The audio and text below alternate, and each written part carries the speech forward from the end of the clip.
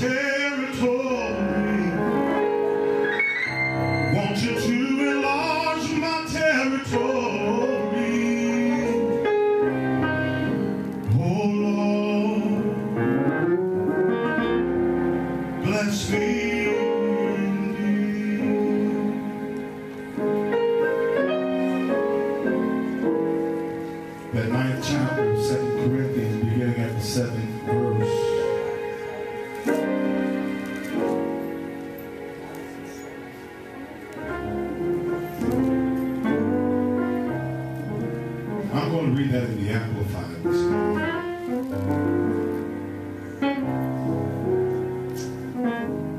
Let each one give as he has made up his own mind and purposed in his heart, not reluctantly or sorrowfully or under compulsion. For God loves, he takes pleasure in, prizes above other things, and is unwilling to abandon or to a cheerful, joyous, prompt to do it giving, whose heart is in his giving.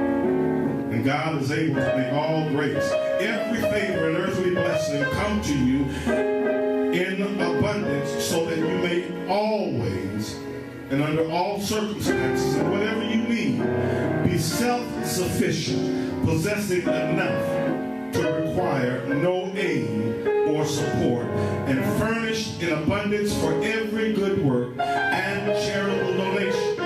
As it is written, he, the benevolent person, he hath given to the poor. His righteousness remaineth forever. You may have his moments. I want to talk about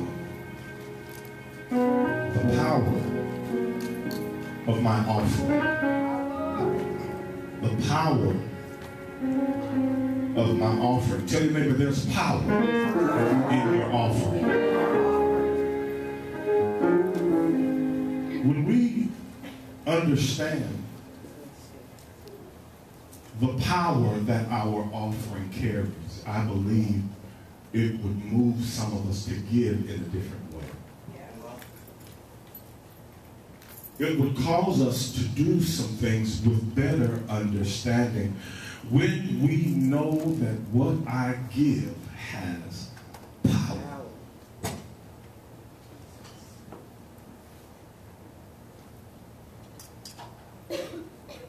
The Lord has blessed New Birth Christian Center to be because of the power of somebody's offering. Careful that we don't take a spoiled mentality and say because he's been good to us, there is nothing else for us to do. Because God will come through. Now, God always comes through. But he places a mandate on the people of the house to care for the house. It's our job to care for our house.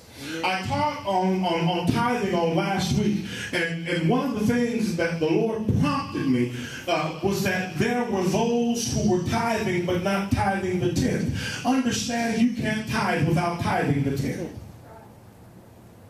Tithing meaning tenth. And we understood that when we give God that tenth, it activates the windows of heaven. Yes. And he says, I begin to pour you out a blessing that you will not be able to contain. Because the, the, the, the, the system of God's blessing is now being activated, and I'm a faithful steward with the tenth. God is blessing me to do more with the 90 than I did with the 100.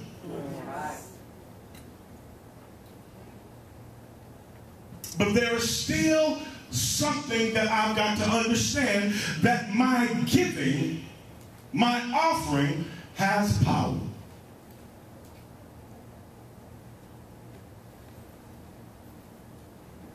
You make it possible for things to happen around you. That means if my giving has power to make things happen around here when I don't give. All right now. Come on. See, we can shout about giving and power and things happening. But there is an effect when I don't do. Because if my giving creates power, then my lack of giving does what? Paul is talking here, and he's talking to them about their offering. And he's telling them that God loves a what kind of giver? God loves a cheerful giver. He loves a giver who can release it and be happy about it. Yes. The ninth verse, the sixth verse, or the seventh, excuse me, let each one give as he, I'm, I'm going to say this in the King James, has purposed in his heart. Let him give that way, not grudgingly or of necessity. For God loves a cheerful giver. He doesn't want us to give because someone has pulled it out of us. God loves a cheerful giver. How do you become a cheerful giver? When you understand, we quote in the scripture, the earth is the Lord's and the fullness thereof, the world and they that dwell therein, it all belongs to God. And because it all belongs to God, He has blessed me with what I have. Right, amen. How many of you are happy about the blessing that the Lord has given you? That's the first thing we should be happy about is because God has blessed us.